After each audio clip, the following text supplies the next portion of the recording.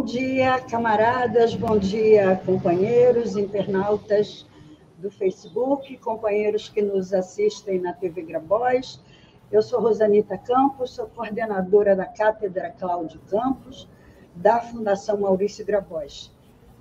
Companheiros, hoje nós temos um importante debate de um tema candente, extremamente atual e importante para a gente discutir, que é, é sobre é, política econômica, trabalho, emprego e novas bases tecnológicas. Nós é, vamos, esse, esse debate faz parte do ciclo de debate 2023 da Fundação Maurício Grabois, o governo Lula, a reconstrução nacional é, e o nacional desenvolvimentismo. Então, eu quero convidar para fazer a abertura do nosso debate, a apresentação, o nosso professor Nilson Araújo de Souza, que é diretor da Fundação Maurício Grabois e professor titular da Cátedra Cláudio Campos. O professor Nilson é economista, é, tem uma formação e um currículo vastíssimo, que a maioria de vocês que nos acompanham já deve conhecer, e eu, então, quero imediatamente passar a palavra ao companheiro Nilson Araújo de Souza. Obrigada, professor, bom dia. Bom dia, bom dia a todas e a todos. Estão me ouvindo? Uhum. Tá bom, seu som. É, seguinte, primeiro eu quero agradecer ao presidente da Fundação Maurício Grabois, o Adalberto Monteiro, pelo, pelo fato de ter apoiado sempre esses eventos que a gente tem organizado. É, meus cumprimentos à Rosanita, é, meus cumprimentos ao, ao nosso é, mediador, que é, que é o, que, que, é o Nivaldo, Nivaldo Santana é, é, da, da, CTB, e é o melhor mediador que eu já vi, né? é um grande mediador. É, meus cumprimentos ao, aos três palestrantes, ao, ao, ao professor é, Sérgio, é, ao professor Mariana e à professora é, Verena. É, nós, definir esse, esse, seminário, esse, esse evento, é, procuramos para cada mesa escolher as pessoas que, que, que, que tinham mais, mais condições de desenvolver o tema. É, o, o, o, tema, como falou a, a Rosanita, o tema geral do, do, do, do, do ciclo de debate é o Nacional Desenvolvimentismo e a Reconstrução Nacional do governo Lula. E o tema dessa mesa é política econômica e reindustrialização, trabalho e emprego em novas bases tecnológicas. É, eu, que, queria cumprimentar ao, professor Sérgio. É, o professor Sérgio Rezende foi, ele, ele é doutor em, em engenharia eletrônica e tem, tem uma, uma, larga experiência é, de, de, de, prestação de serviço público. Depois, depois secretário de Ciência e Tecnologia de Pernambuco, foi ministro de Ciência e Tecnologia. É, o, o, o, Laplane é, é, é doutor em Economia é, e, e, se dedica ao estudo do, da, da e as novas tecnologias. Ele é presidente de um centro que tem essa característica. É, a Verena é, é, é, é doutora em desenvolvimento, é, tem, tem, tem, trabalhado com essa questão da tecnologia e atualmente é a secretária executiva é, do Conselho Nacional de Desenvolvimento Industrial. É, então, todos eles têm, têm formação e têm, têm experiência é, concreta, meter a mão na massa, não ficar só no, no, na, na, na, teoria. É, eu, eu, queria levantar duas ou três questões que estão nos preocupando é, e pediria que que, na medida do possível, na exposição de vocês, vocês tratassem essas questões.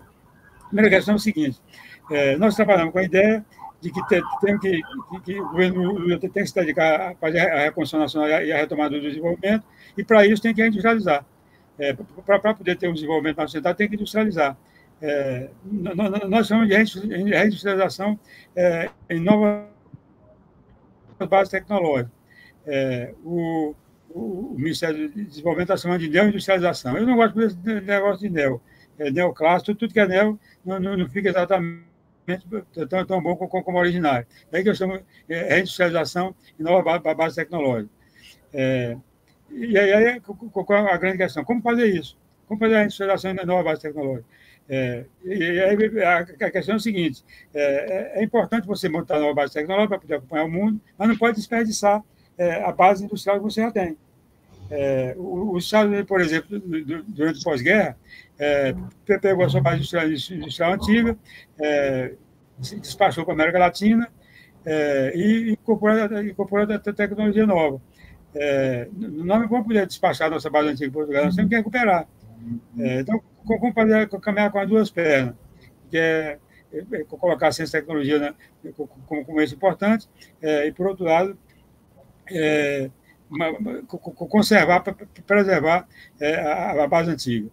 É, bem, o, e, e, como fazer isso? É, nós temos trabalhado com a ideia é, de, de, que para poder reindustrializar é, tem que ter uma política industrial que, tá, que o governo está fazendo, vai, vai ser lançada agora no dia 19, é, e a política industrial é, tem que ter protecionismo Muita gente acha feia essa palavra, protecionismo, é, porque diz que é para proteger empresário malandro, não é coisa nenhuma. Todos os países do mundo industrializados praticaram protecionismo. Até a Inglaterra, primeiro, praticou protecionismo. É, financiamento público, compras governamentais, é, o, o, a, a, a, União Europeia, na, na, na, discussão com o Mercosul, está querendo que, que, o Mercosul abra mão da ação governamental, e o Lula reagiu bem.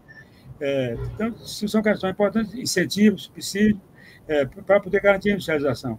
É, garantia nova e antiga. Agora, como fazer com a ciência e tecnologia?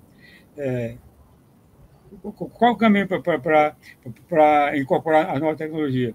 É, vocês que são os mestres nisso, doutores nisso, vocês vão ter que responder. É, o que, que, como incorporar a, a, a, a ciência, tecnologia e inovação é, no processo de industrialização? É, o, nós estamos trabalhando que, que tem que, que, é, a indústria no Brasil, a indústria de transformação, é, ela declinou violentamente dos anos 80 para cá. É, ela um violento processo de reindustrialização, de desindustrialização e reprimarização da economia. Isso, os dados mostram isso. então, se está destruída, como, como é construir? É, porque se, se, se tivesse só, só, só é, em banho-maria, seria mais fácil construir. Agora está tá, tá destruída a, base industrial. Então, como, como é construir? É, aí tem uns obstáculos no caminho que eu queria colocar para ver como é que, que vocês acham. É, um primeiro obstáculo que está no caminho.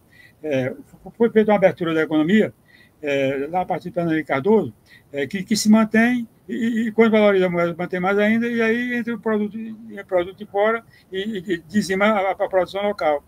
É, então, essa é uma questão importante. É, então, tem que investir em ciência e tecnologia.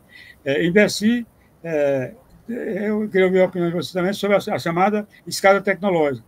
É, porque a, a, a, posição de, de que, é, para poder acelerar a incorporação de ciência e tecnologia, não, não temos só que criar ciência e tecnologia própria, mas temos que fazer uma escala tecnológica, nos aproximar é, de, quem pode nos fornecer te, te, tecnologia mais avançada. E aí tem esse negócio do conflito é, mundial, a, a, transição, a transição de geopolítica está tá dando, a China se, se avançando rapidamente, os Estados Unidos estão ficando atrás, só que, que a China pode nos fornecer tecnologia, os Estados Unidos não fornecem.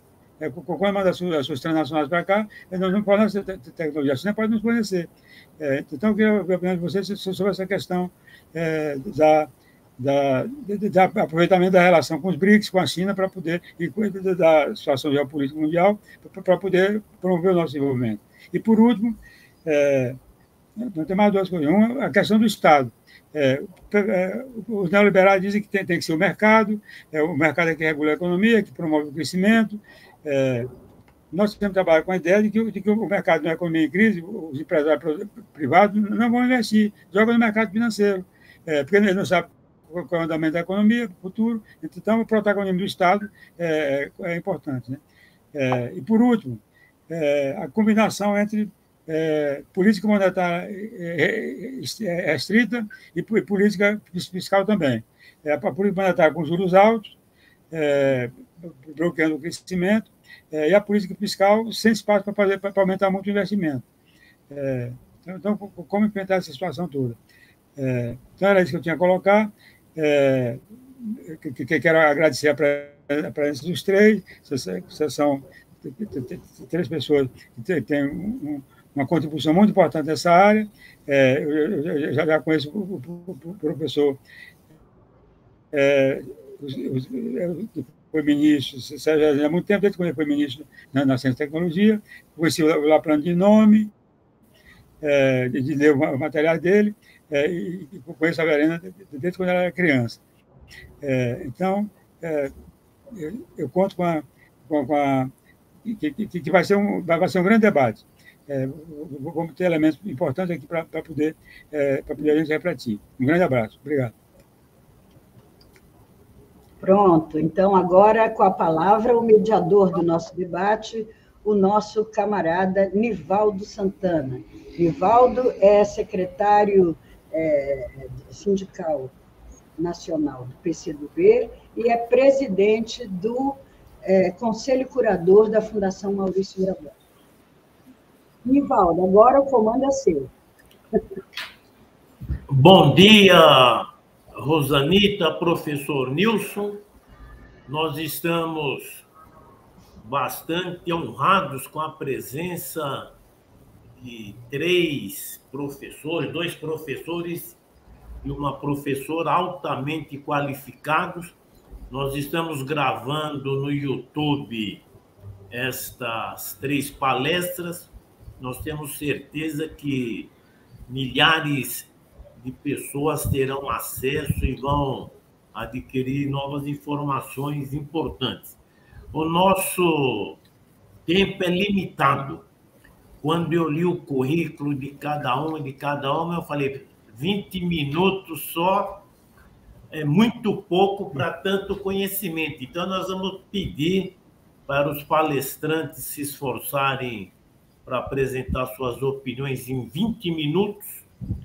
O professor Mariano Francisco Laplana, ele tem um compromisso em torno de 11 horas, então ele pediu para iniciar os nossos trabalhos, então ele vai ser o primeiro a nossa ideia, na sequência, eu ouvi a professora Verênia, e para concluir as palestras, o nosso ministro Sérgio Rezende. A ideia é ouvir os três, eventualmente possam surgir algumas perguntas, indagações, então nós teremos as considerações finais dos palestrantes. Então seria mais ou menos essa nossa dinâmica. Então, eu passo a palavra para o professor Mariano Francisco Laplane. Os três já foram devidamente apresentados pelo professor Nilson, então não preciso aqui repetir a rica biografia de cada um.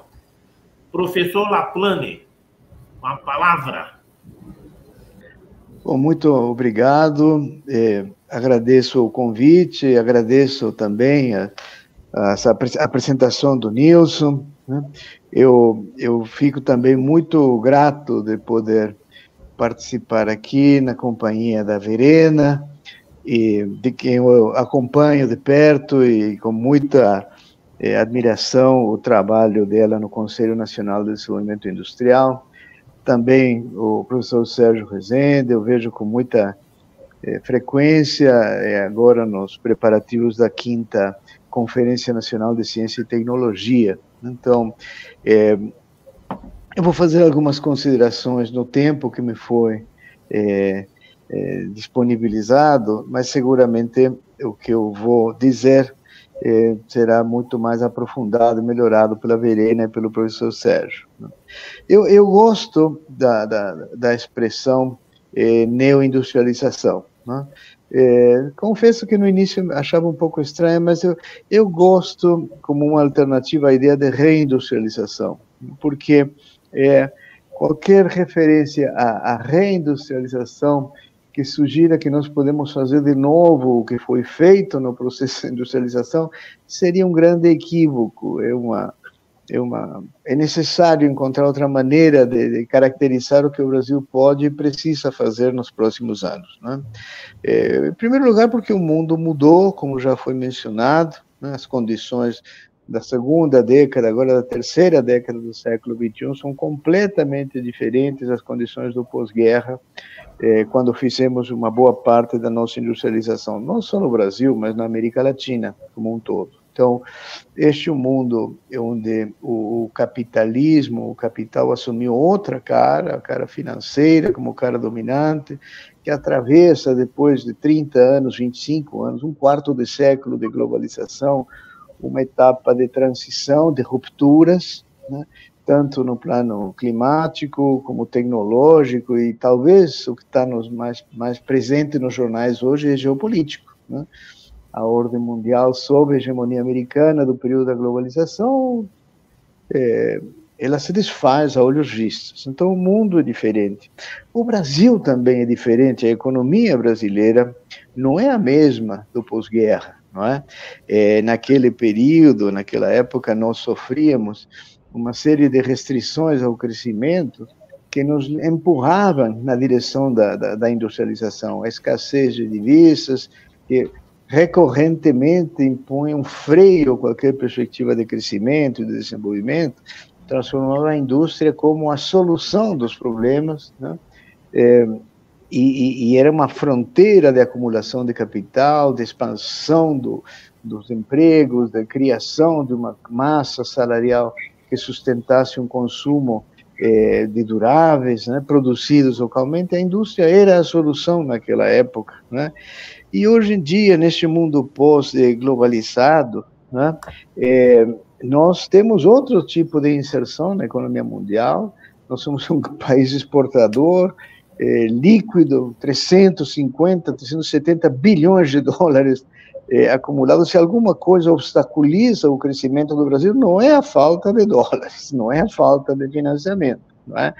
é provavelmente, como foi mencionado há pouco pelo Nilson, uma combinação de política econômica perversa, né? uma política de juros altos e, e austeridade fiscal, né? com câmbio sobrevalorizado, que nós é, faz é, viver numa estagnação, com ciclos muito curtos de crescimento, que não, não, não são suficientes para, para gerar o bem-estar no ritmo que a gente precisa gerar. Né? É, economia brasileira é diferente porque se nos anos 50 a, a indústria era percebida como uma fronteira de, de, dinâmica de acumulação de capital, é? hoje em dia as fronteiras de acumulação, onde os espaços da economia onde o capital se reproduz, né? São as finanças, né? E seu contato com o mundo real se dá basicamente no setor serviços. Né? Vejam os movimentos de fusões aquisições com entrada de capital estrangeiro na educação, na saúde, no setor imobiliário. É? É, nossa indústria ainda está aí, ela não, ela, ela não encolheu. Não é? A indústria cresceu nesse período, né? ela só se tornou menos relevante na composição do PIB. Ele encolheu porque cresceu menos do que o PIB, mas ainda temos um parque industrial que está entre os 15 maiores do mundo. É? Nós temos uma, um parque industrial é, bastante complexo, diversificado, mas que funciona de outra maneira desde que é, em função da, da, do baixo crescimento e da, da, abertura da economia, ele tem outra dinâmica. Então, é uma indústria muito mais integrada internacionalmente, tanto nos fluxos de tecnologia, ela capta, absorve tecnologia, como sempre absorveu com muita velocidade. Né? É, lembro daquela expressão do Furtado, não? da modernidade da nossa nosso padrão de consumo e tudo mais, né? mas eh, ela está também integrada nos fluxos financeiros, dada a taxa de juros muito elevada do mercado doméstico, ela capta fora, coloca títulos fora, e também é integrada comercialmente, né? ela, ela importa muito e exporta bastante, né? em segmentos específicos, né? mas nós temos uma, uma, eh, um grau de abertura muito maior. Né? Eh, de modo geral, os empresários que sobreviveram na indústria, nessa indústria que é menos importante no PIB, mas é, continua sendo é, de grande escala, né? eles se encontram razoavelmente confortáveis com o perfil especializado eh, que eles adotaram. Não, é? eh, não vejo eh, do par, de parte do setor industrial demandas de grandes rupturas, né? o que não quer dizer que eles não demandem apoio do governo, sempre, sempre. É? Eh, mas eu acho que o que é importante ter eh, em mente né, é qual é o papel que a indústria atualmente desempenha no crescimento, na, na, na dinâmica da economia. Todos nós provavelmente temos presente a imagem, a metáfora da indústria como locomotiva da atividade econômica. Né? É preciso dizer que esta metáfora é um pouco anacrônica. Né? A indústria de transformação hoje, que representa em torno de entre 10% e 12% do PIB, ela não tem tamanho, não tem escala suficiente para se transformar numa locomotiva da economia. Ela, ela não tem capacidade de tração da economia. Não é mais a indústria dos anos 50, 60, que crescia na frente e puxava a economia. Certamente não é a indústria chinesa, né? ou, na, ou a coreana, os casos mais bem-sucedidos dos últimos 50 anos de industrialização. Nossa indústria não é uma locomotiva com poder suficiente para arrastar a economia hoje. Isto quer dizer que a indústria é menos importante? Isso quer dizer que a indústria, então, não deve nos preocupar, que nós não precisamos pensar em política industrial? Não, não. Simplesmente precisamos entender que o papel da indústria continua sendo importante, não pela sua capacidade de tração que ela perdeu, mas por ser uma engrenagem absolutamente essencial no processo de modernização, de transformação, nas chamadas transições, né, as que eh, se faz muito referência hoje em dia, a transição digital, a transição ecológica e a transição social. Por quê? Porque a indústria, esse é um tema que tanto a Verena como o professor Sérgio conhecem muito bem, né? a indústria é o lugar, é o locus da atividade econômica onde se faz mais intensivo o uso do conhecimento para gerar inovações, para criar novos mercados, para reformular os mercados existentes. Então, esse é o papel atual da indústria e por isso que nós não podemos deixar de pensarmos numa estratégia que nos permita é, usar a indústria em benefício das transformações que o país precisa, precisa realizar. Né? Aqui é importante ter, ter clareza né, de que esta é uma indústria que ela, ela sobreviveu a condições extremamente difíceis nos últimos 30 anos. Né? A instabilidade, teve um, um, um, ciclo de crescimento nos dois governos Lula e no governo Dilma, né? mas foi um ciclo relativamente curto em relação ao longo período de estagnação que se inicia nos anos 90. Né? Mas existe uma indústria que é, dificilmente é, mudará de uma hora para outra a sua cara. Né? A indústria tem um, um, um, perfil bastante consolidado né? e, e transformações eh, significativas na sua composição setorial, na sua estrutura, né, não são eh, passíveis né, de, de, de, acontecer num período curto, de 4, 8, 10, 12 anos. É um processo muito mais eh, demorado. Nós temos uma indústria madura. De outro lado, e, é preciso reconhecer que nós temos eh, limites na capacidade do Estado de eh, alimentar, de, de, de, estimular esse, esse processo de transformação, né, que levaria décadas, né, e que nós temos pressa, temos urgência em eh, atender outras demandas. Né, não é apenas a indústria que demanda algum tipo de apoio, de, de, de atuação pública. Né? Nós temos uma enorme quantidade de desafios em outras frentes também.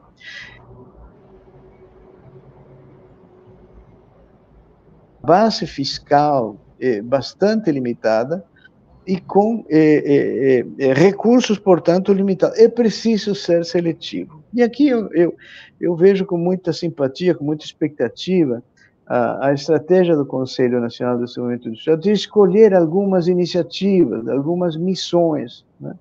e nós não podemos deixar de ser seletivos nessas escolhas. E na medida que a gente conseguir associar essas iniciativas a transformações que claramente estejam associadas a, a, a, melhorar as condições de vida da população, melhorar a segurança alimentar, a segurança energética, a segurança sanitária, não é? a segurança pública. É, essas iniciativas ganham legitimidade. É extremamente importante que a política industrial não seja vista como uma política em favor da indústria, é uma política em favor do desenvolvimento no desenvolvimento, a indústria tem um papel, não de locomotiva, como eu disse antes, mas é uma engrenagem muito importante. Eu, eu vejo que meu tempo está, está aqui acabando, mas eu queria encerrar, então, com uma, é, com uma reflexão é, em relação a esse tema da seletividade. Né?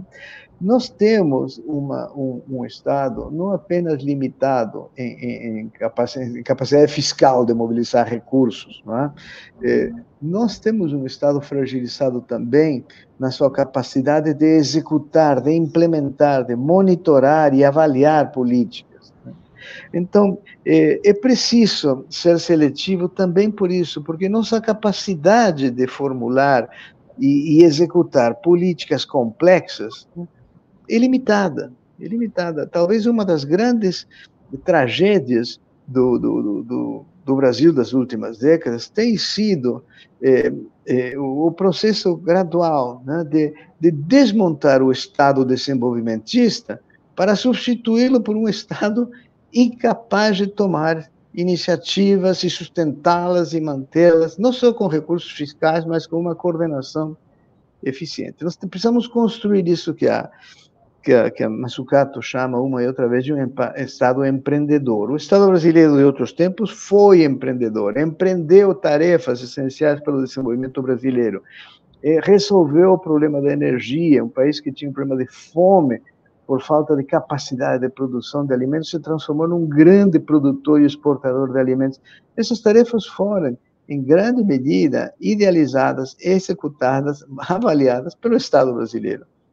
É preciso ser realista. O Estado brasileiro hoje não tem musculatura para fazer isso. É um Estado amarrado pelo próprio Estado. Estou me referindo aqui aos órgãos de controle, estou, me referindo aos desequilíbrios de poder entre o executivo e o legislativo, as dificuldades para articular as iniciativas do nível estadual com as iniciativas da União. Então, é preciso ter muito, muito, muito bom senso na escolha das iniciativas, das missões, porque elas precisam dar certo. Elas precisam dar certo, até para legitimar a ação pública no desenvolvimento. Bom, meu tempo acho que esgotou, eu não queria tomar o tempo dos, dos colegas aqui no painel, fico, fico à disposição. De fato, eu tenho um compromisso, mas vou tentar adiar ao máximo minha saída para poder aproveitar as exposições da Verena e do professor Sérgio e, eventualmente, também as perguntas. Eu encerro por aqui. Muito obrigado pela paciência. Obrigado, professor Mariano Francisco Laplane.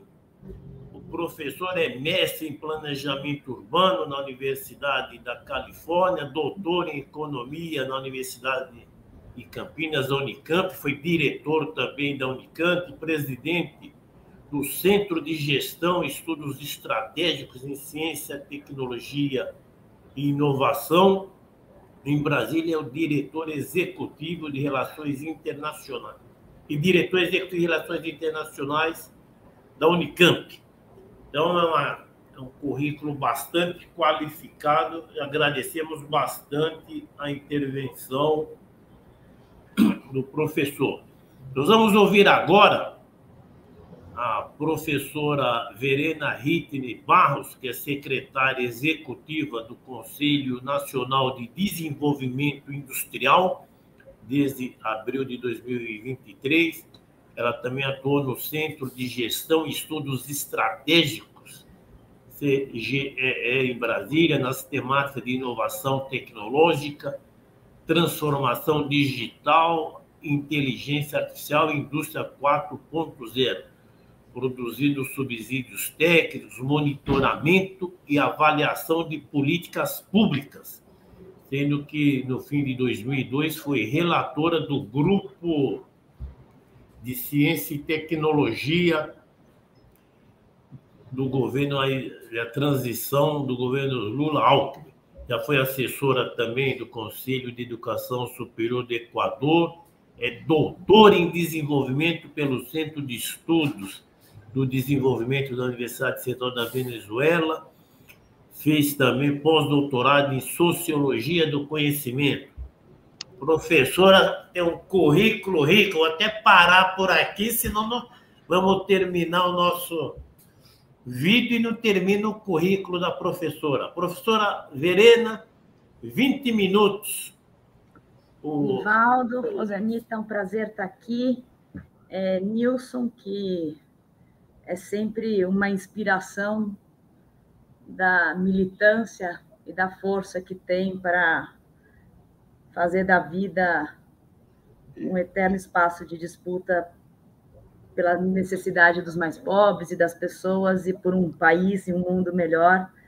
Professor Mariano, professor ministro Sérgio Rezende, são pessoas fundamentais para que essa política e para tudo que tem sido construído nesse governo é, possa estar tá funcionando. É um prazer estar tá aqui com todos vocês hoje. Eu nunca me canso de escutar e aprender. Eu sempre acho, ah, acho talvez não tem mais nada para aprender. O professor Mariano Laplane fala e dá, aprendo mais coisa. Então, eu, é, é, é um prazer estar tá aqui com vocês. Eu queria pegar o gancho deixado aqui pelo professor Mariano Laplane, de que a gente tem que olhar para a indústria, e é assim que a gente tem olhado no governo federal, como um dos instrumentos de um processo de desenvolvimento do país. Eu acho que o professor já falou muito é, sobre o contexto, mas eu acho que nunca é demais lembrar que o mundo inteiro passa por um processo de desindustrialização. No nosso caso, do Brasil, o nosso processo de desindustrialização, além dele ser precoce, ele vem associado, diferente das outros lugares do mundo, dos países do norte, ele vem associado a um processo de piora da, quali de, da qualidade de vida das pessoas. Então, acho que a gente não pode nunca perder essa ideia é, de vista. É, e, portanto, é por isso que é importante pensar não a indústria, não uma política para a indústria, mas uma política para o desenvolvimento, do, no qual a indústria tem um papel é, importante como agente de transformação ecológica, digital, social, num mundo que é o mundo que nós vivemos hoje, que diferente do que aconteceu nos outros governos do Lula e da presidenta Dilma, a gente pode falar abertamente de política industrial. Todos os outros países do mundo estão falando de política industrial. É, isso nos dá, nos dá força para recolocar a importância da política de desenvolvimento industrial como peça central da nossa atuação e da construção do Estado que a gente imagina como Estado a ser perseguido. Mas é também um momento que eu acho que estão colocadas algumas, algumas, algumas questões são importantes. Uma delas é essa disputa de, da geopolítica internacional entre Estados Unidos é, e China, que abre para o Brasil algumas oportunidades que a gente deve aproveitar. É, outra é a disputa geopolítica que o mundo avança sobre o que significa o verde, o que significa o sustentável. Que para o Brasil, essa disputa é muito importante e necessária na medida em que nós somos a grande referência internacional da energia limpa, da, da, da economia, é, da descarbonização, a, fomos os grandes impulsionadores do funcionamento das COPs. É, é, então, eu acho que é, é importante que a gente avance, inclusive no sentido de garantir que nessa disputa sobre o que é verde, o que não é, o que nós consideramos verde seja parte do que o mundo considere verde. É um absurdo a gente ter que fazer o debate se o nosso etanol é ou não é, é verde para o resto do mundo. Então, eu acho que a gente tem esse contexto internacional que ele é importante, ele não pode ser desconsiderado. E a decisão de fazer é, é, a política organizada por missões, ela tem, é, é, é, é ela parte do, desse diagnóstico muito bem colocado pelo professor Mariano, da, de que a gente o Estado não tem a musculatura para atuar sobre tudo, então tinha tem que escolher determinados temas, temas esses que tenham impacto num processo de promoção de direitos é, é, e que seja pensado o processo de industrialização como um processo de Estado e não só de um determinado ministério, é, porque as discussões ambientais, as discussões da macroeconomia, as discussões da ciência e da tecnologia têm necessariamente que permear os debates da política de desenvolvimento industrial, mas também porque, historicamente, quando a gente organizou política é, é, de, de, para o desenvolvimento industrial,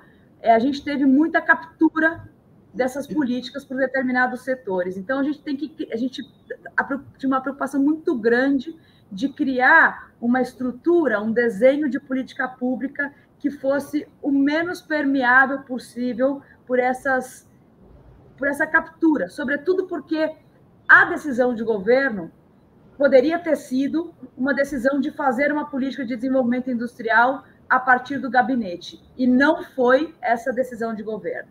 A decisão foi a de construir um conselho paritário com 21 representantes do Estado brasileiro e 21 representantes da sociedade civil, com a inclusão de todas as pessoas que quiseram vir e contribuir para a construção é, dos consensos, que são mínimos, mas que são necessários para que a gente é, avance no, no, no, na melhoria da qualidade de vida das pessoas enquanto país e não só e não num embate é, historicamente ultrapassado de sociedade é, e governo, é, como aconteceu em algum momento da nossa história. E então assim, as missões elas são muito importantes. Portanto, para é, da política industrial importa. Então, não, a gente não vai desenvolver cadeias agroindustriais de maneira exclusiva. A gente vai desenvolver cadeias agroindustriais para a segurança alimentar, nutricional e energética. A gente não quer desenvolver o complexo industrial da saúde. A gente quer desenvolver o complexo industrial da saúde para reduzir as vulnerabilidades do SUS e ampliar o acesso à saúde. A mesma coisa com a infraestrutura, o saneamento e a mobilidade é, para a integração produtiva do país e o bem-estar nas cidades, a transformação digital para ampliar a produtividade, a bioeconomia, a descarbonização e a transição energéticas para garantir os recursos para as futuras gerações e o complexo industrial de defesa para a soberania e defesa nacionais são apresentadas como as nossas missões de desenvolvimento, para, para as quais a gente tem pensado e tem estruturado alguns instrumentos que a gente tem considerado que são fundamentais. A gente vai apresentar a política semana que vem para o presidente da República e a gente elencou alguns instrumentos é, é, necessários para todas. Eu destaco uma articulação importante que nós fizemos, criamos um grupo de trabalho para articular os instrumentos financeiros para inovação. E aí, é, a importância que teve a taxa de referência no Congresso Nacional, a aprovação dessa TR tanto para a financiadora de projetos FINEP do Ministério é, de Ciência, Tecnologia e Inovação, como para o Banco Nacional de Desenvolvimento é, Econômico e Social, BNDES. Então, a gente conseguiu articular isso. A gente vai apresentar na política as linhas de crédito prioritárias para cada uma dessas missões. Nós vamos apresentar também as linhas sobre as quais a gente vai, além, a gente usa a TR mais 2%, mas a gente vai a gente escolheu linhas de crédito que a gente vai ter a TR mais 1,5%. Então, quais são as linhas é, é, que a gente vai efetivamente pôr força no, no, intuito de tentar responder uma pergunta que o presidente Lula nos colocou na última reunião do pleno do CNDI, que é quais são os nichos industriais que nós queremos desenvolver? É, e eu acho que é isso o que a gente tem que pensar enquanto país, porque isso vai garantir a, a maneira como essa neoindustrialização se insere no sistema internacional. Então, além dos instrumentos financeiros, a gente elenca uma série de instrumentos regulatórios sobre os quais a gente tem que avançar. É, e isso é muito importante porque a gente não pode abandonar da nossa análise e da nossa interpretação da realidade as idiosincrasias do Estado brasileiro, seja em relação a, a como a União estabelece é, é, é suas relações com os estados e os municípios, seja como é, é, seja ignorar a relação que o, o, que o Poder Executivo estabelece com o Parlamento. Então, pensar o tema regulatório e garantir um planejamento mínimo para que a gente possa dar, enquanto Estado, em conjunto, o debate sobre esses temas é muito importante. Outro instrumento muito importante, muito necessário, sobre o qual a gente se debruça na política industrial, são os instrumentos de propriedade intelectual. Eles são instrumentos necessários, que eles servem tanto é, é estrategicamente, tanto para que a gente possa é, é, é, organizar a nossa decisão estratégica por parte do Estado, como também aproveitar, é, proteger conhecimento, mas usar as brechas de não proteção do conhecimento é, é, é, para que a gente possa desenvolver a nossa indústria. A infraestrutura da qualidade é outro tema que aparece de maneira muito forte, sobre o qual a gente se debruça de maneira específica para cada uma das missões. É, laboratórios de teste é, é, são, são, importantes. A gente teve um processo de sucateamento da infraestrutura ou, ou da, dos espaços de testagem é, de metrologia é, é, nacionais durante o governo Bolsonaro e a gente perde espaço no debate internacional sobre o que a gente considera que é importante de ser posicionado do ponto de vista de como do desenho das coisas e, e das métricas que nós usamos para nos, nos medir. Os instrumentos de comércio exterior também aparecem como um tema importante. E aí é, eles têm que ser pensados não só como instrumentos é, é, é, para segurar a entrada, mas como protetores de uma indústria nascente que a gente quer é, que seja desenvolvida. E aí as compras e as obras públicas, que são instrumentos tanto para a construção de infraestrutura, mas também como é, é, instrumento de, de, de, organização da política industrial por meio da demanda é a certeza absoluta que é por meio das obras públicas, por meio das compras públicas, que a gente impulsa uma indústria, como, por exemplo, a indústria de tecnologia da informação e da, da comunicação, que o Brasil foi um ator relevante no passado, é, para que ela consiga ter melhor capacidade de sobreviver. É também um instrumento importante se a gente quer segurar ou se a gente quer pensar em maneiras diferentes, que não, não exclusivas do comércio exterior, para nos colocar ou tentar salvar a nossa indústria, garantir a resiliência das nossas cadeias é, nesse momento de ascensão de China e de força e de reimpulso da política industrial por parte dos Estados Unidos. Então, é, eu acho que a lógica do desenho da política tem sido uma lógica de tentar garantir um monitoramento de longo prazo das ações para é, construção de resiliência das nossas, das nossas cadeias, que a gente tem chamado de construção de processos de adensamento produtivo é, nas nossas cadeias, entendendo que a promoção do direito ela é o ponto inicial do nosso trabalho. Então, para que as pessoas tenham clara, então o, di o direito é o direito à mobilidade. Então, o direito à mobilidade são ônibus elétricos, são ônibus. Então, a gente olha para os setores, para as cadeias, a gente olha que, que a gente tem que avançar, porque não é que não importam os setores industriais. Os setores industriais eles são relevantes e eles têm que ser acompanhados para que a gente não para que a gente tenha de uma maneira que a gente possa ter musculatura suficiente para não seja para que não seja um, um cavalo de pau numa economia que pode dar certo ou pode não dar certo para que a gente não possa voltar a ter esse sentimento e diagnóstico que é comum da sociedade de que falta segurança jurídica no nosso país. Então, olhar para a cadeia e aí pensar que no ônibus elétrico a gente a, a, o tema da bateria, da célula de bateria, é um tema importante a ser desenvolvido, a gente o, o, conseguir olhar para essa cadeia como um todo, olhar, é, garantir que a, o direito seja também um instrumento da demanda e saber que a gente produz hoje só a extração do lítio do chão. É, e a gente faz o ônibus, a gente faz o, o pack de bateria, mas a gente não avançou no processo, por exemplo, de transformação desse lítio em carbonato de lítio de grau bateria, e que é, é, isso deve ser o endereçamento da nossa política no longo prazo para trazer é, é, ciência, trazer tecnologia, trazer outros instrumentos é, para que a gente possa adensar essa nossa cadeia é, nesse processo que é necessário de transição, de transformação da nossa economia, para que a gente possa ter resiliência num momento de, por exemplo, como a pandemia, para que a gente e, e, que a gente então consiga é, é, ter um mínimo de colchão para superar de maneira soberana os nossos desafios. Então, eu acho que era isso que eu tinha para dizer. É assim que está sendo desenhada a política de desenvolvimento industrial. Nós colocamos, a gente apresenta para o presidente algumas metas aspiracionais. A ideia de uma meta aspiracional, ela não é uma meta para o Estado brasileiro, é uma meta para a sociedade que tem que gerar responsabilidade para todos os atores.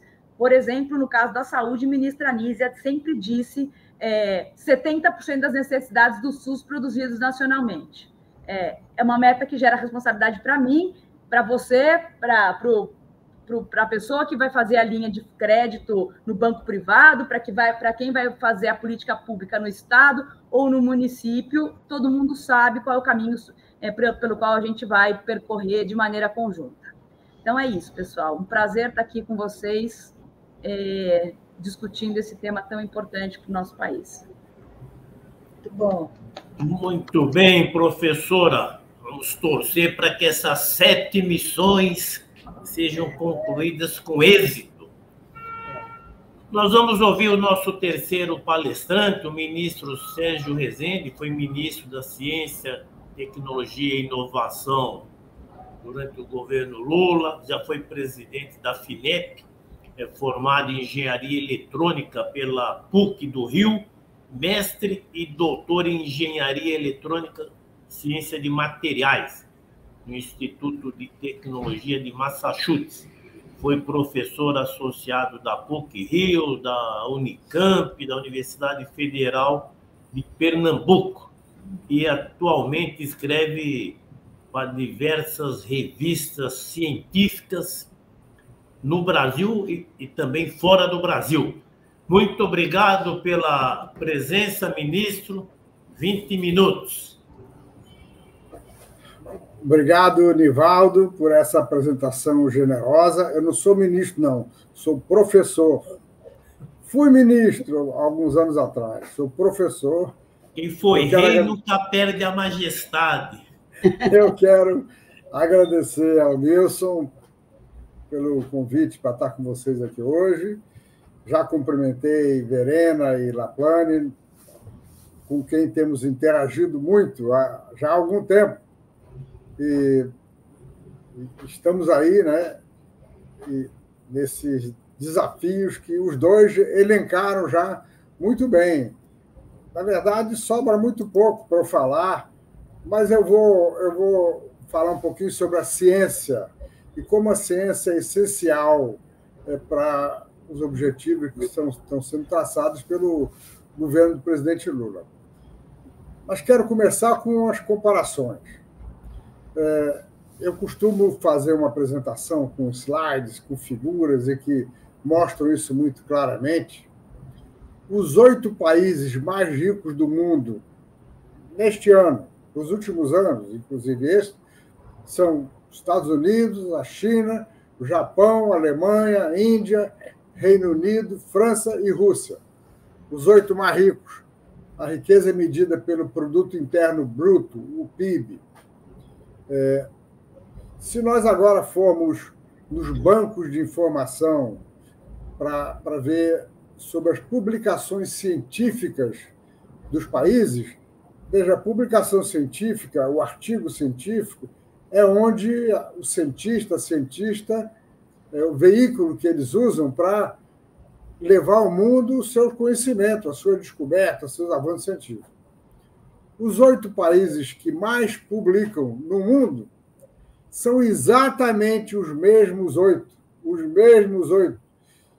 quase que na mesma ordem: Estados Unidos, China, Japão, Alemanha, Índia, Reino Unido, França e Rússia. Isso não é, não é por acaso, não é uma coincidência. Isso é porque, é, como, como se diz, ciência, não só ciência, mas ciência, tecnologia, inovação e educação são os motores da prosperidade. Não conhecemos país desenvolvido, em todos os sentidos, que não tenha ciência, tecnologia, inovação e educação. Ciência vem do latim, que quer dizer conhecimento.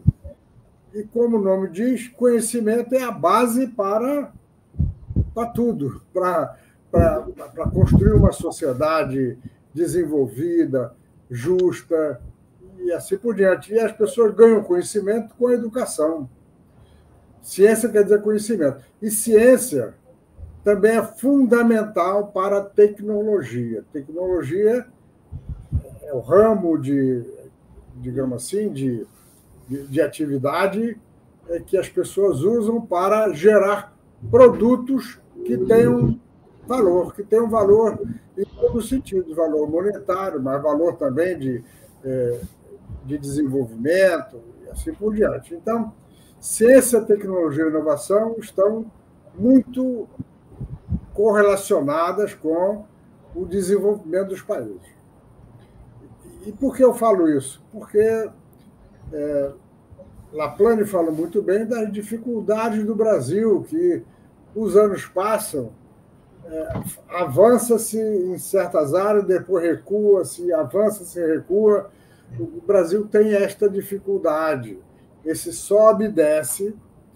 Um governo vem, implanta políticas diversas, como, por exemplo, política industrial. Aí vem outro governo e diz: ah, não temos que ter política industrial. Isso, isso era o governo anterior, o governo que, sa, que saiu no, no final do ano passado, começo desse ano, dizia exatamente isso. Não temos que ter política industrial. São os industriais que fazem a política. E isso não é privilégio deste governo, aconteceu anteriormente. É, nos últimos, nas últimas décadas, essa, essa afirmação de que não devemos ter política industrial veio do, do um dos casos né, mais gritantes foi no governo Collor. O governo Collor entrou e logo começou a desmontar mecanismos importantes. O Brasil tinha uma política de reserva de mercado de informática, cujo objetivo era proteger as empresas brasileiras no setor de informática. Collor acabou com isso. Deixa, vamos importar tudo que, vai, que nós vamos ter produtos de melhor qualidade. Ele fez outra, outra, outro crime grave contra o Brasil. Ele deixou falir a única empresa brasileira que nós tivemos nas últimas décadas de, de veículos, de automóveis, a Gurgel. É, eu, eu, lembro de pessoas que compravam um carrinho da Gurgel com orgulho de estar dirigindo um, um carro brasileiro. Então, hoje nós temos uma indústria automobilística muito grande, mas não tem uma indústria nacional, porque tem governo que diz o importante não é é, não é ter indústria nacional, o importante é ter os produtos e dane-se o resto. No governo Bolsonaro, quase aconteceu um crime é, desse tipo. É, as pessoas sabem que o Brasil conseguiu desenvolver uma indústria aeronáutica. A indústria aeronáutica foi o sonho do Brigadeiro Montenegro. O Brigadeiro Montenegro foi a pessoa que criou o ITA, o Instituto Tecnológico de Aeronáutica, até hoje um grande instituto tecnológico que forma engenheiros eletrônicos, engenheiros aeronáuticos, assim por diante. Pois bem, do lado do ITA, ali em São José dos Campos, foi criada uma indústria estimulada pelo Brigadeiro Montenegro, chamada Embraer. O nome já diz o que é, Indústria Brasileira de Aeronáutica. E essa indústria gradualmente foi ganhando força, chegou num certo ponto, ela era estatal completamente, o Estado criou que, ela, que o fato de ser estatal estava amarrando um pouco a Embraer. Aí ela foi privatizada, mas o governo continuou com a maior parte das ações e o poder de decisão. Isso é uma medida válida.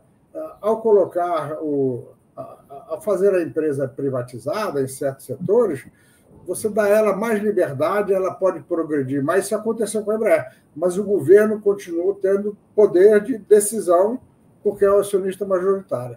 Sabe o que aconteceu no começo do governo Bolsonaro? As pessoas já esqueceram. A Boeing, que é a grande empresa é, americana, mundial, de aviões, resolveu comprar a Embraer. Sabe o que o governo fez? Bateu palma. Ou seja, não interessa ser brasileira. Não, existe em certas pessoas essa preocupação de ter uma, uma indústria ou setores que são nossos, nossos, são orgulhos nossos. Felizmente, e, e, e o governo autorizou a venda para a Boeing, a Boeing começou a fazer planos, mas aí aconteceu uma coisa. Veio um vírusinho chamado é, SARS-CoV, não sei das quantas, que trouxe a pandemia da Covid para o mundo, o mercado de aviação caiu e, e, e a Boeing desistiu de comprar a Embraer um ano depois. Naquela ocasião, eu escrevi um artigo que saiu na Folha de São Paulo, cujo título é assim: O sonho do Brigadeiro Montenegro salvo pelo coronavírus. Mas como eu, lembrei desses detalhes, que não são necessários de trazer aqui, mas o Mariano Laplano falou muito bem, nós temos essa dificuldade de um governo faz umas coisas e vem outro e desfaz. Isso também vale para a ciência. A ciência é muito nova no Brasil. Os cientistas são formados nos programas de pós-graduação, mestrado e doutorado. E a pós-graduação começou no Brasil apenas em 1900, na década de 1960, há 55 anos. Portanto, a formação de pesquisador no Brasil é muito nova. E, e com isso, é, nós temos um, uma produção, é, um resultado da ciência ainda muito limitados, que não são percebidos pela sociedade brasileira. Mas o que, que isso tem a ver com a nossa conversa?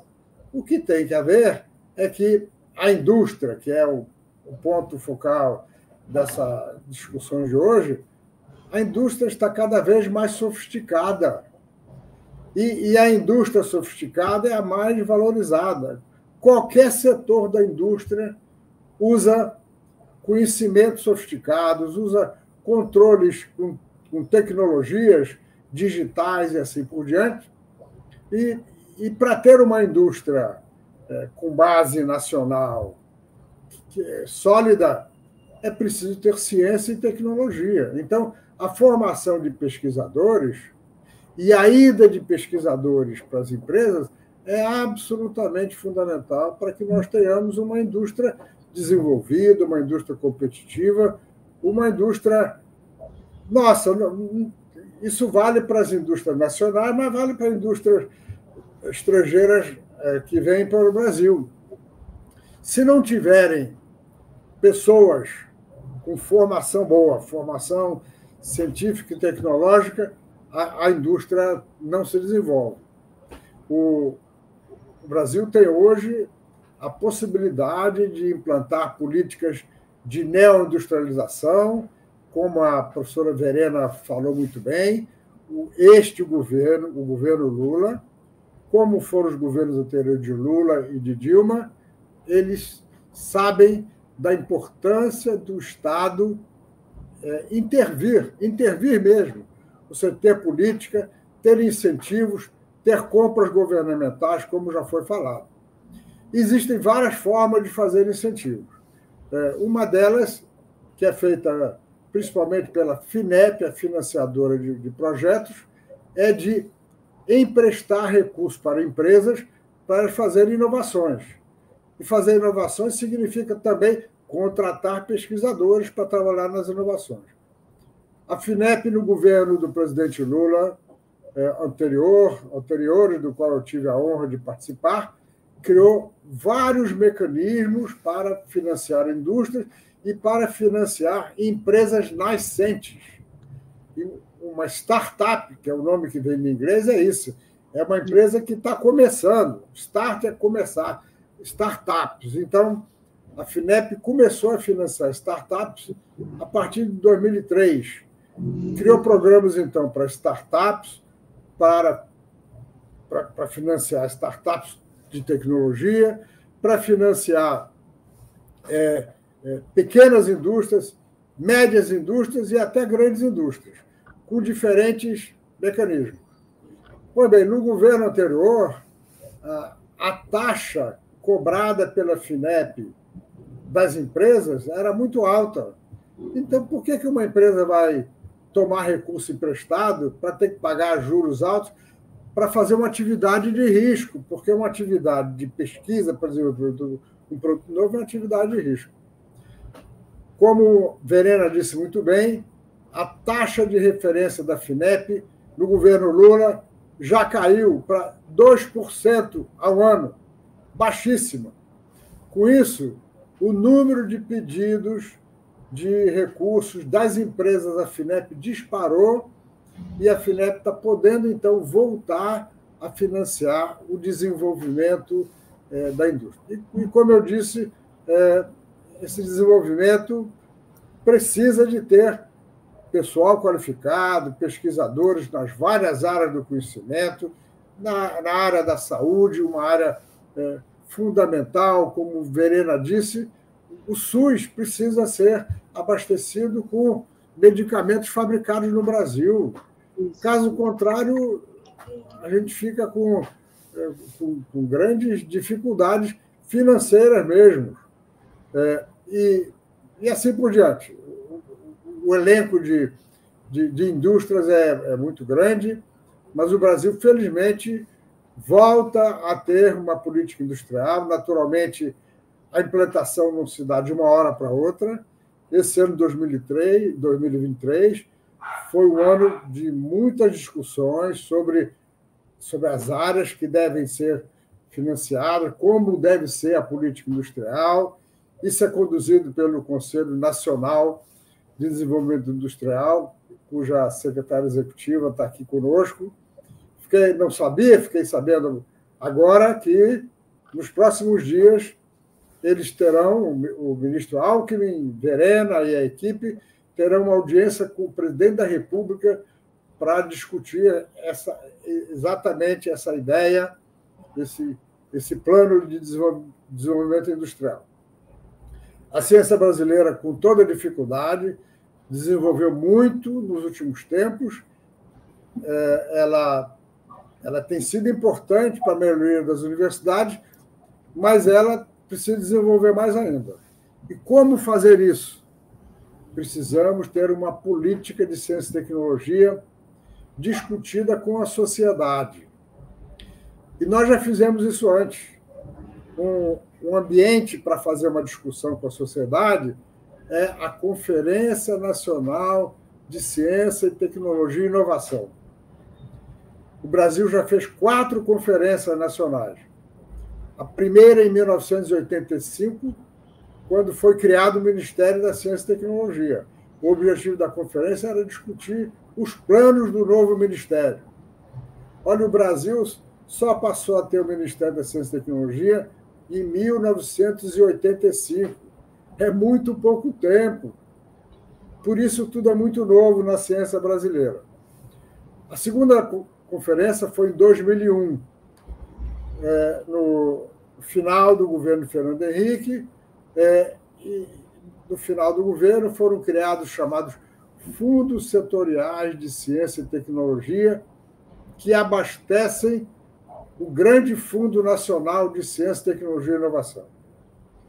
Esse grande fundo nacional, ao longo das décadas, ele, tá, ele tem um sobe e desce. E o sobe e desce é uma indicação da importância que o governo federal dá à ciência e tecnologia. No governo Bolsonaro, até o ano passado, esse FMDCT teve um valor baixíssimo, praticamente um décimo do que foi no final do governo do presidente Lula em 2010. Mas, voltando, esses fundos foram discutidos na segunda Conferência Nacional. A terceira, em 2005, durante o governo Lula, para discutir os avanços dos últimos anos. E a quarta, em 2010, no último ano do governo do presidente Lula.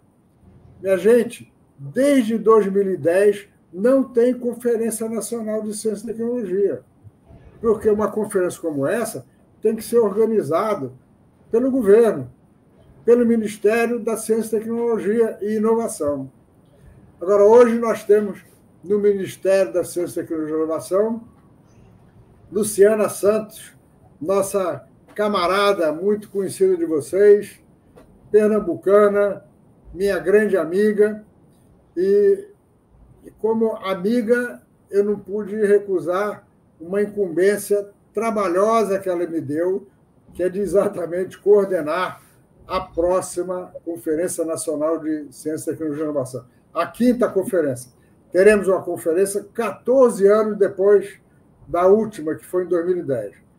Essa quarta conferência, na verdade, já começou, porque ela vai se realizar nos dias 4, 5 e 6 de junho de 2024, mas ela tem conferências prévias. Então, ela teve, semana passada, uma conferência estadual, foi a primeira, que foi aqui em Pernambuco. Ela teve esta semana uma conferência temática sobre ecossistema de inovação. Teremos, no, no, nesse próximo sábado, em Brasília, uma conferência da juventude. Então, de agora até junho, nós teremos conferências estaduais, conferências regionais, reuniões temáticas que servirão de preparação para a grande conferência. E muitos de vocês que estão é, nos, é, nos vendo, nos ouvindo. Se quiserem mais informações sobre a conferência, ela está disponível no, no, na página do CGEE, do qual o professor Mariano foi presidente há, há alguns anos. CGEE quer dizer Centro de Gestão e Estudos Estratégicos. Se puser esse nome lá no, no Google, vai aparecer o site do CGE Lá tem todas as informações sobre as conferências e contamos com a participação da sociedade brasileira, porque ciência, tecnologia e inovação precisam ser planejados, discutidos coletivamente e são setores essenciais para o desenvolvimento do Brasil em todos os sentidos. Muito obrigado pela atenção de vocês. Eu consegui quase ficar nos 20 minutos, acho que eu passei dois ou três minutos. Obrigado. Muito obrigado, professor Sérgio Rezende. Nós estamos acompanhando aqui os comentários bastante elogiosos com as três intervenções, muitos comentários, alta qualidade do nosso seminário. O, o Adalberto Monteiro que é o presidente da Fundação Maurício Grabois, fazendo uma pergunta que está na tela: como melhorar a interação entre as universidades e a indústria, tendo em vista impulsionar em novas bases a reindustrialização. Eu queria fazer uma pergunta também, que é a seguinte: o, pela exposição dos nossos três palestrantes, foi feita uma relação entre a luta pela neoindustrialização vinculada ao desenvolvimento científico, tecnológico e a inovação, tudo somado também servindo como âncora para um novo projeto nacional de desenvolvimento do país. Então, a neoindustrialização tem que também ser um impulsionador do crescimento econômico do Brasil.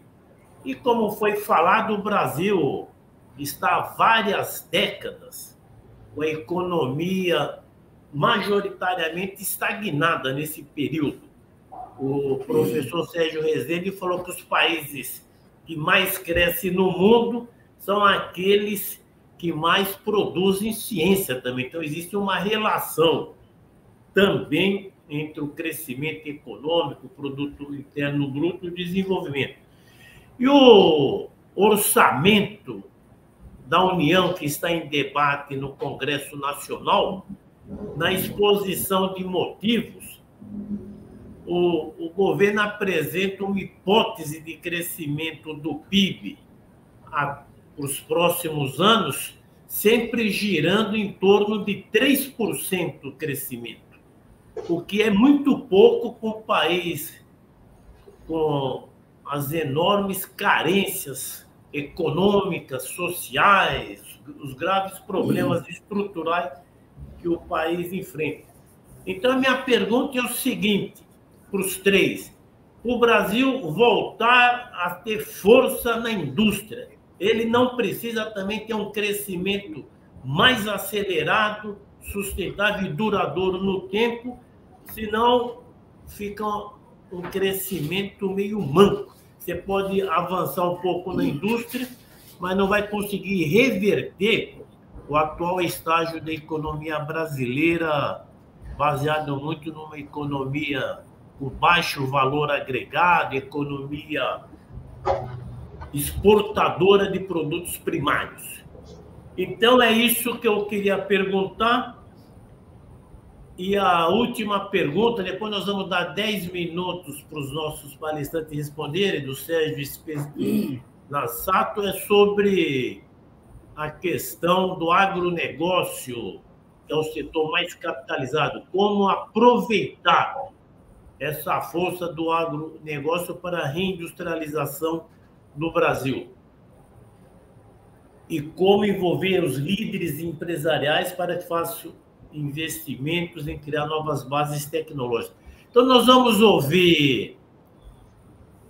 Eu vou seguir a mesma ordem, que o professor Laplane está com horário mais espremido, ele podia responder e fazer as considerações finais depois nós ouviríamos também a professora Vereno, professor Sérgio Rezende, o professor Nilson depois vai dar uma última falha, a nossa coordenadora da cátedra, Cláudio Campos, fala, encerraria os nossos trabalhos. Então, professor Laplace, dez minutos para o senhor.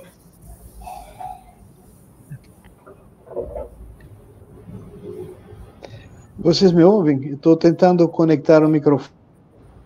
Está muito bom. Estão conseguindo me ouvir, então? Parece que está com. Estamos ouvindo perfeitamente, Mariana. Ah, que bom, que bom. Bom, eu, eu, eu vou é, começar comentando a questão do, do crescimento, não é? é? veja, há uma, há uma é, visão na, na teoria econômica de que os países crescem com a velocidade é, que é permitida pela acumulação de capital. Né?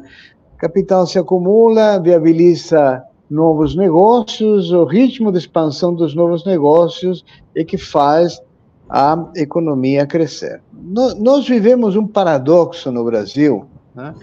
e é que é, há uma desconexão entre a acumulação de capital, né? o retorno dos negócios que já existem e o surgimento de, de, de, negócios que se traduzem em crescimento. Por que que isto? O que está acontecendo? Eu fiz referência a isto na minha fala. Nós temos como fronteiras de acumulação dos negócios no Brasil as finanças né, e a, os serviços de eh, educação, saúde, privados, né, os negócios imobiliários que independentemente das suas virtudes, eles têm uma característica é, pouco, pouco interessante para o Brasil. Eles geram pouco emprego, geram pouco salário. Isso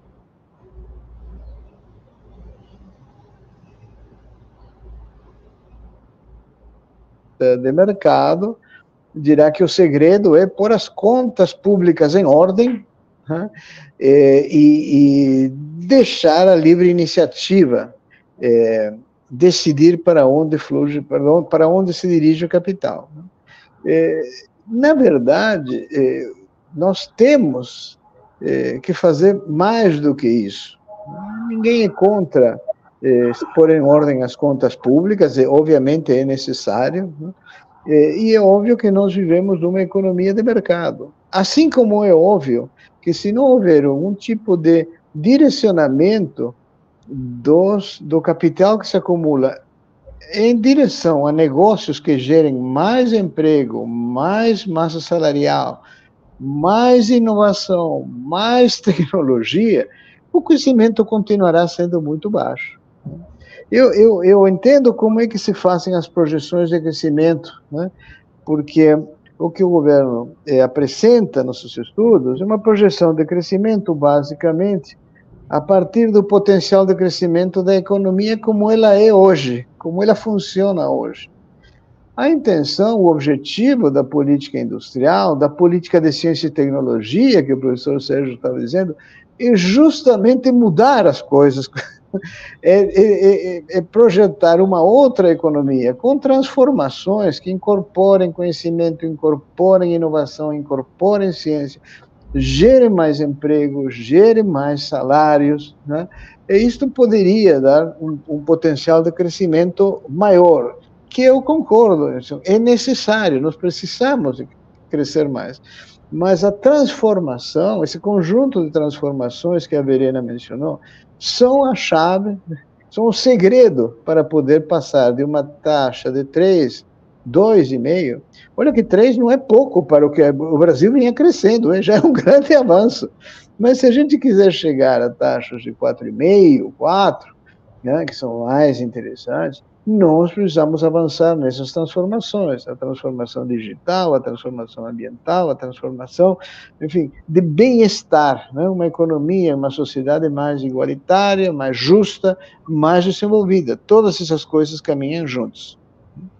Então, é, é, como eu disse, não é tarefa para um governo, não é tarefa para três anos, quatro anos, É, um, é, um, é um esforço que vai demandar mais tempo.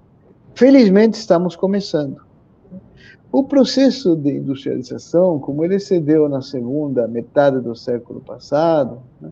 ele não foi apenas um processo é, resultado de políticas públicas. As políticas certamente ajudaram, mas aquele projeto de um país desenvolvido, moderno, urbano, com menos é, é, pobreza rural, tudo isso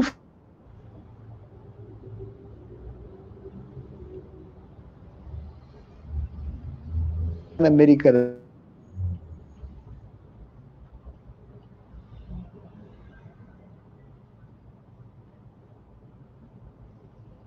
Acho que está cortando o som do. Está tá congelando, né? A é, fala. Tá dando...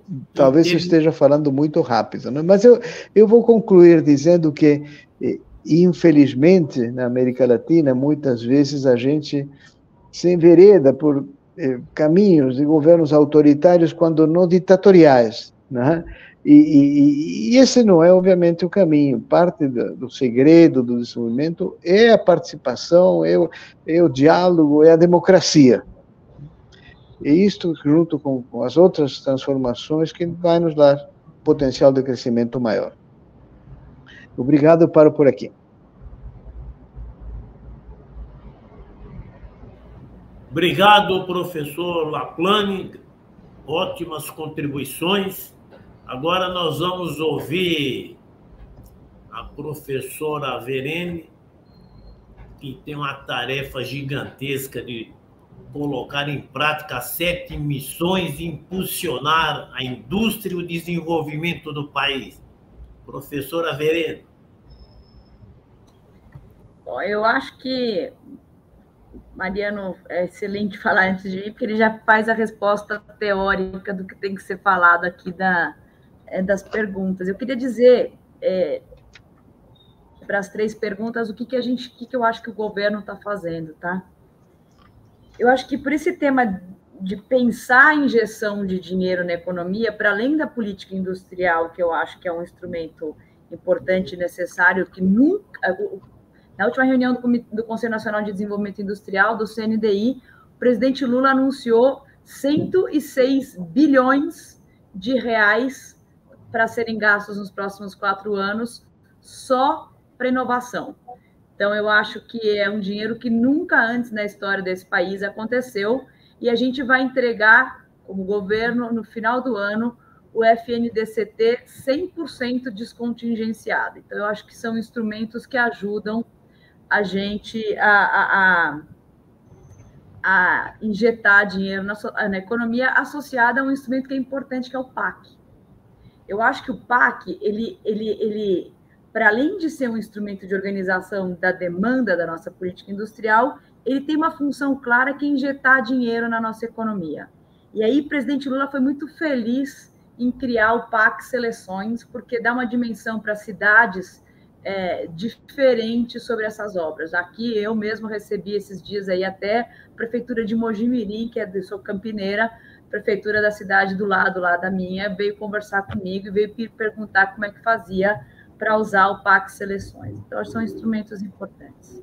Essa discussão da universidade indústria, eu acho que ela é parte é, estrutural das nossas questões é, da, da, da situação subdesenvolvida ou periférica da nossa economia.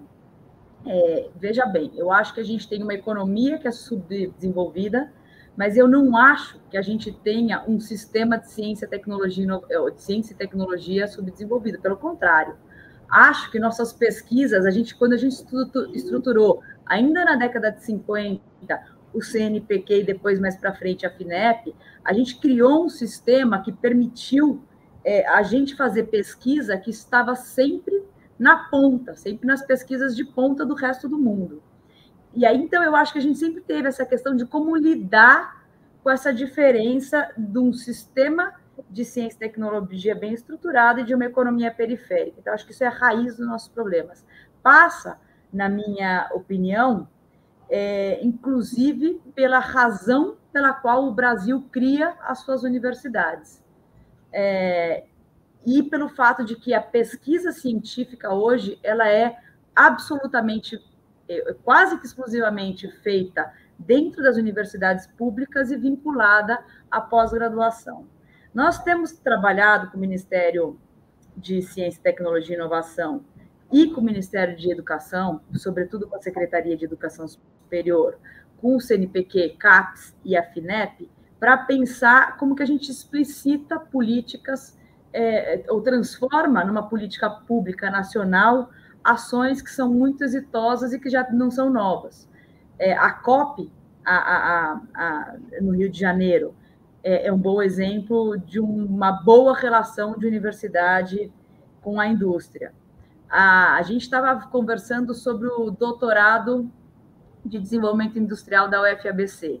83% dos doutores formados por esse doutorado, com bolsa MyDai, saem empregados e saem empregados em pequenas e médias empresas brasileiras.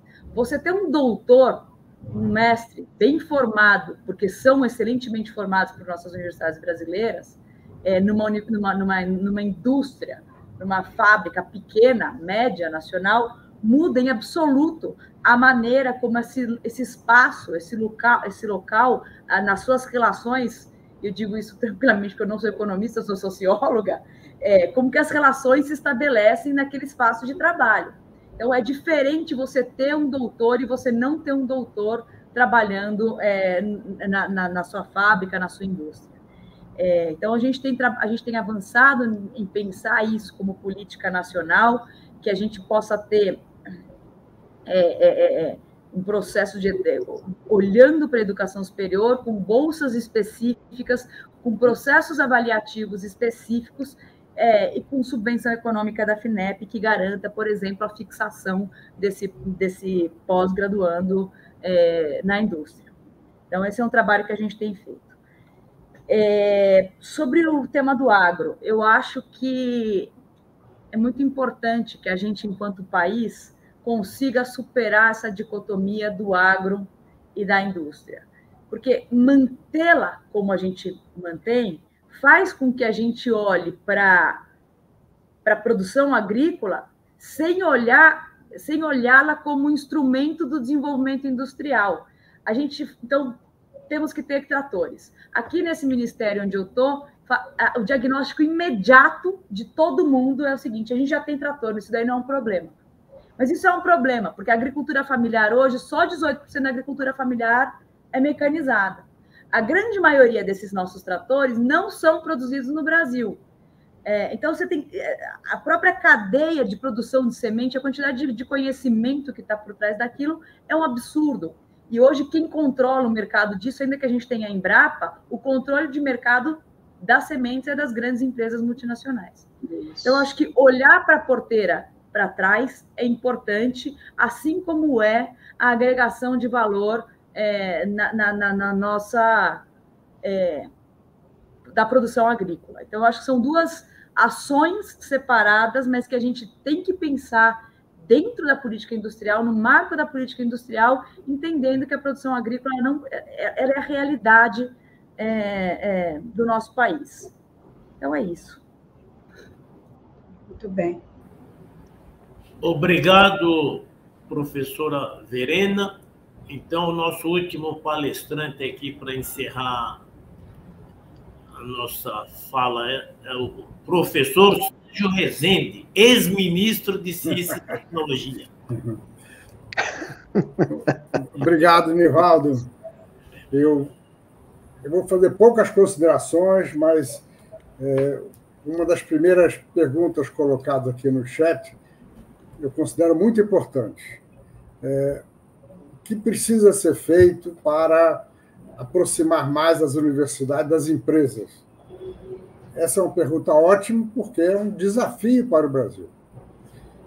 Agora, eu quero começar dizendo o seguinte: um, um, na minha visão, um problema do setor empresarial brasileiro é uma questão cultural. É, a industrialização no Brasil foi feita basicamente com indústria de setores tradicionais.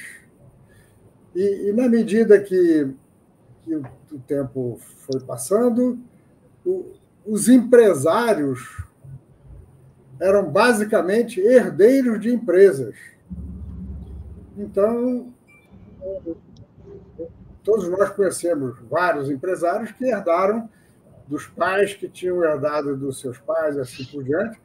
Então, eles tendem a ser conservadores. A indústria já, já era conservadora, os empresários tendem a ser conservadores. Então, eles, eles não procuram, nunca procuraram interação com a universidade, porque não precisavam desenvolver os seus produtos. Eles certamente buscavam engenheiros técnicos nas formados nas universidades, mas não para desenvolver processos, produtos e assim por diante. Então, isso é uma questão cultural no sistema brasileiro.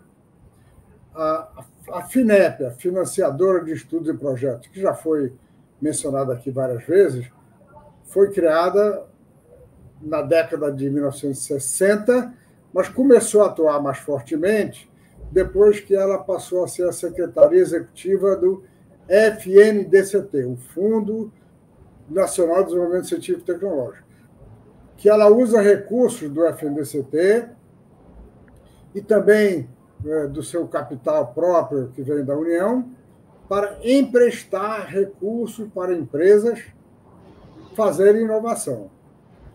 É, esse processo gerou uma pequena aproximação entre alguns empresários mais, é, mais lúcidos, né?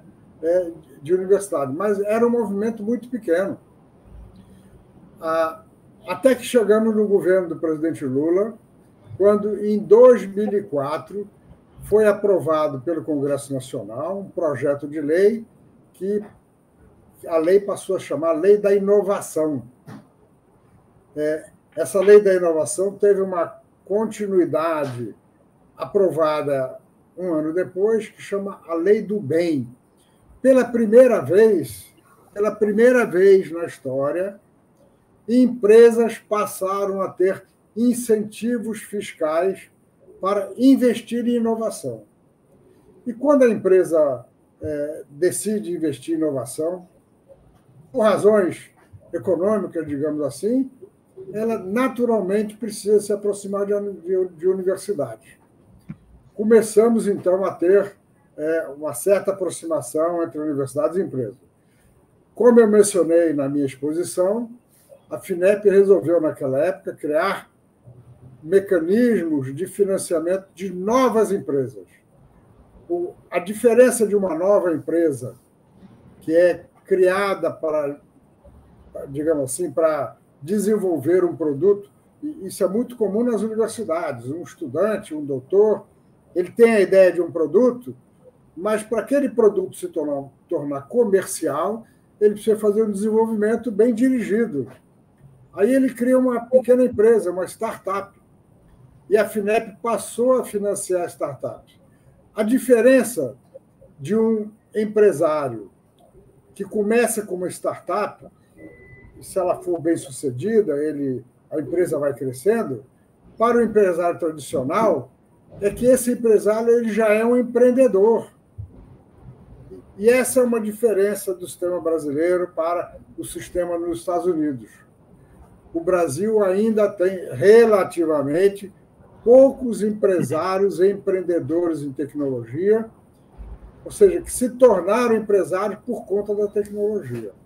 A nossa indústria ainda é, em grande parte, de setores tradicionais. Mas aí o governo Lula anterior fez mais. Criou um sistema que chamava Cibratec, Sistema Brasileiro de Tecnologia, que o que fazia era é, aprovar projetos submetidos por, em conjunto por universidades, empresas, instituto tecnológico. E esse Cibratec começou a funcionar muito bem. Chegamos no governo Dilma e, na verdade, houve uma institucionalização desse processo, que foi com a criação das, da, do, da Embrapi. A Embrapi é a empresa brasileira de pesquisa industrial. Na verdade, ela, o papel dela não, não é típico de uma empresa, mas de uma agência. O que a Embrapi faz, desde que foi criada, em 2012, acelerou em 2013, 2014, é exatamente é, induzir projetos de cooperação entre universidades e empresas. Para isso, a empresa tem que entrar com uma parte dos recursos, mas a Embrapi entra com o dobro o dobro da empresa. Isso, a, a, é, a, a Embrapi foi implantada pelo professor Jorge Guimarães, que tinha sido presidente da CAPES, é uma pessoa de grande experiência, professor da Universidade Federal do Rio Grande do Sul, e a Embrapi é um sucesso. E o Jorge, quando dá palestra sobre, sobre a Embrapi, ele mostra centenas e centenas de projetos de aproximação de universidade e empresa. Então, concluindo, é, esse é um desafio para o Brasil que está sendo enfrentado e que está trazendo resultados é, muito, é, muito animadores, que vão transformar a indústria brasileira. Houve também uma pergunta sobre o agronegócio, que já foi comentado por Mariana e por Verena, mas eu queria dizer o seguinte: nessa semana, ou foi sexta-feira, acho que foi sexta-feira, a Folha de São Paulo publicou duas matérias sobre a inovação no agronegócio falando da importância da, do papel da, da, da Embrapa, empresa brasileira de, de pesquisa agropecuária, e mostrando que o Brasil é uma potência no agronegócio, não é só pela produção agrícola, é pela produção, mas também pelo processamento, ou seja, pela agroindústria. O, o valor agregado pela indústria do agronegócio aumenta muito o, o, o digamos assim, o, a renda do a renda do campo e, o, e, esse é um setor que está ocupando um espaço cada vez maior no, na economia brasileira. E a outra matéria é interessante, porque mostra que mais da metade das, dos cientistas que contribuem para o agronegócio é feita de mulheres, são mulheres cientistas, que têm um papel é, muito importante nesse processo. Então, novamente, o, o Brasil tem progredido nessa área e, e com, a, com, a, com a nova política industrial, nós temos certeza de que, é, de que esse processo será consolidado nos próximos anos. Eu quero agradecer a, novamente à Fundação Maurício Grabois, ao Nilson, ao Nivaldo pelo convite e vocês todos que estão nos assistindo nessa manhã muito, muito rica. Obrigado. Muito bem, professor Sérgio Rezende. Então, nós vamos aqui passar para a etapa final. O professor Nilson vai fazer uma fala e a nossa líder Rosanita conclui os nossos trabalhos. Muito obrigado uma vez mais. Três grandes palestras que dão uma qualidade nova para ir para as reflexões da Fundação Maurício Grabois. Professor Nilson. Está com o microfone fechado, Nilson.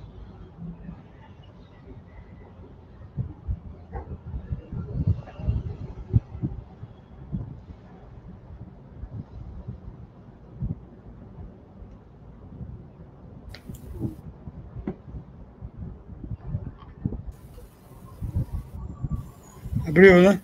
Abriu. Estão me ouvindo? Bem, eu só queria fazer um ou dois comentários. Primeiro, é, agradecer é, ao professor Sérgio, Sérgio Rezende para poder conseguir marcar com ele. Conseguiu, ele é ocupado viajando é, e te, trabalha muito. E a gente teve que conversar várias vezes até encontrar uma, data que, que, foi apropriada e foi bom a gente fazer essa data. É, muito, muito, obrigado, professor. É, contamos sempre com você. É, agradeço ao, ao, ao Laplane, ao Mariano. É, o meu nome na clandestinidade é, era Mariano, Mariano Noleto. Então, então, você tem uma semelhança aí. É, primeira contribuição que você deu é a Verena, que, que, que, nos trouxe toda a informação de como é está sendo construído o, o, o projeto de, de, de neoindustrialização. É, e queria fazer dois três comentários. Um, o primeiro é, é o seguinte: é, e existe vários entraves na industrialização no Brasil, juros altos, é, austeridade fiscal, o pessoal está chamando até o luxo de austericídio, é, desigualdade social que, que implica em, em, diminuir o mercado interno, abertura econômica. A abertura econômica é, é foi fatal para a indústria. É, esse ano, é, o PIB que, que, que, cresceu, como alguém falou aí, o PIB está tá crescendo quase 3% ao ano. É, mas o que, cresceu? O agronegócio, a exportação de, de produtos primários, é, o, o, petróleo, o gás, é, minério, é, o, o, e por aí, serviço financeiro. É, a indústria de transformação está tá estagnada, não cresceu nada. E, e, enquanto ela não, não, não, não, não se desenvolver, é, não retomar, é, nós, nós, vamos estar nesse bolo de galinha, como a falou, bolo de galinha se cresce um pouco, logo na frente, na frente cai de novo. É, então, é, a questão da, da de, de, de, ter um programa industrial que, que, que mantenha a indústria crescendo durante mais tempo é fundamental.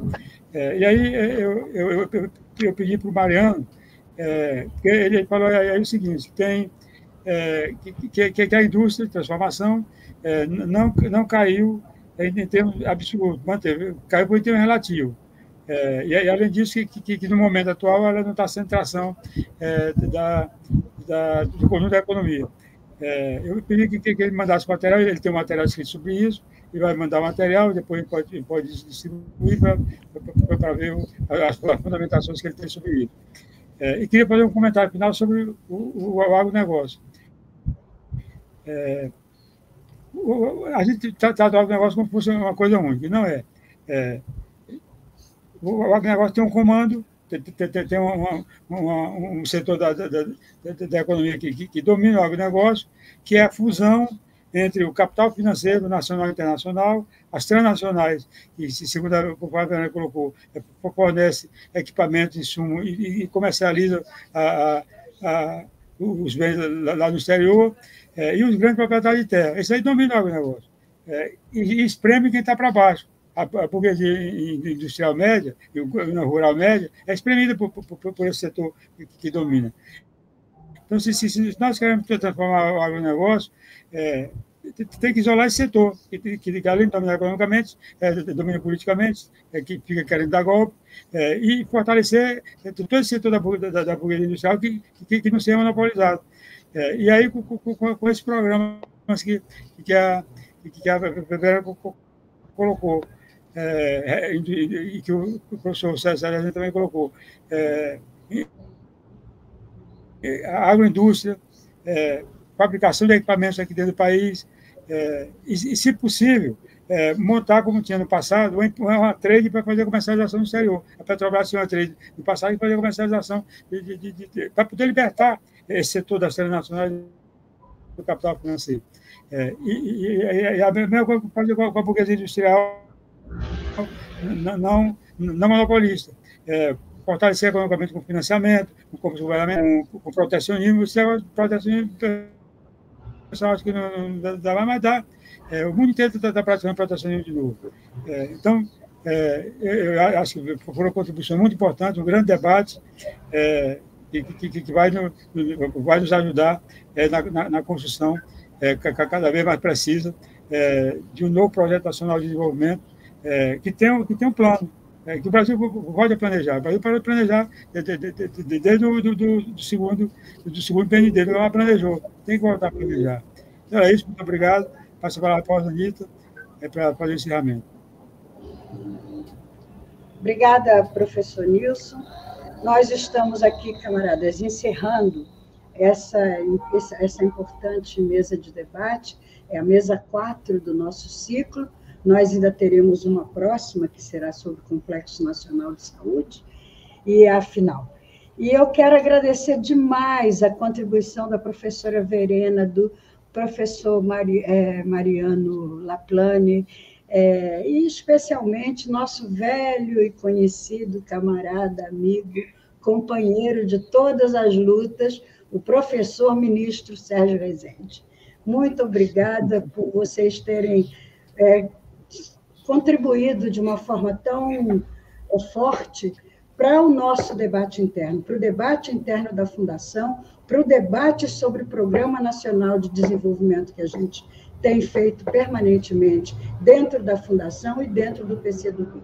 Vocês têm dado essa palestra de hoje para nós é um ponto fundamental de reflexão e seguramente os camaradas e os companheiros militantes que nos assistiram aqui é, e amigos, simpatizantes, enfim, todo pessoas progressistas que acompanham nosso pensamento sobre o Brasil, é, seguramente vão rever essa palestra, vão distribuir essa palestra para os seus amigos, e a repercussão desse debate não termina hoje aqui. Queria agradecer demais vocês por essa importante contribuição. Isso vai nos servir e nos ajudar por muito tempo. Quero agradecer demais também o companheiro Nivaldo Santana por ter conduzido bem essa mesa e lembrar que ele reclama que eu dou trabalho para ele, mas quem me dá trabalho é ele, sabe? Porque essas ideias todas, ele participa da elaboração de todas elas. Professor Nilson é testemunha. Então, eu queria dizer para para o Nivaldo, meu muito obrigada. Quero agradecer ao professor Nilson e quero lembrar uma coisinha sobre a questão que foi levantada aí. É, muitos, todos os companheiros que falaram, palestrantes, falaram sobre muitas empresas brasileiras que têm sido financiadas, criadas, estimuladas pelo governo. Então, eu quero lembrar o papel da Petrobras e o papel da Eletrobras. Nosso, né, nosso nossas empresas nacionais, assim como a economia brasileira, foi destruída pelo bolsonarismo. O governo Lula faz um esforço para a reconstrução nacional, onde a indústria tem a industrialização tem um papel-chave. E eu quero lembrar que a Petrobras é um elemento fundamental dentro da nossa economia para o desenvolvimento industrial e para o desenvolvimento nacional. E espero que um dia nós possamos discutir a nível de governo a reestatização da Eletrobras, porque o controle da energia é determinante para um desenvolvimento soberano de um país. E queria só encerrar dizendo o seguinte, camaradas. É, como todo mundo diz e como todo mundo sabe, sem ciência e tecnologia desenvolvida, não há desenvolvimento industrial e não há desenvolvimento nacional. Vocês foram excelentes aqui em afirmar isso de uma maneira prática e de uma maneira a nos dar argumentos para sentirmos e defendermos isso no nosso dia a dia, na nossa prática política, no, na nossa intervenção na sociedade. Muito obrigada a todos. Espero que a gente tenha uma próxima oportunidade de aprofundar ainda mais essa discussão, esse debate. E a Fundação Maurício Grabois e a Cátedra Cláudio Campos eh, se propõem a continuar fazendo esse trabalho. Um abraço a todos. Obrigado, presidente Adalberto, pela sua participação aqui e pelo seu apoio sempre. Grande abraço a todos. Um abraço, Roseli, professor Sérgio, Nilson, Nivaldo e, Verena também. Até uma próxima oportunidade. Grande abraço a todos e tchau, a todas. Tchau. Vamos lá. Abraço, tchau, tchau. Tchau, tchau. Muito obrigada, muito obrigada. Valeu, professor. Valeu, Verena. Valeu.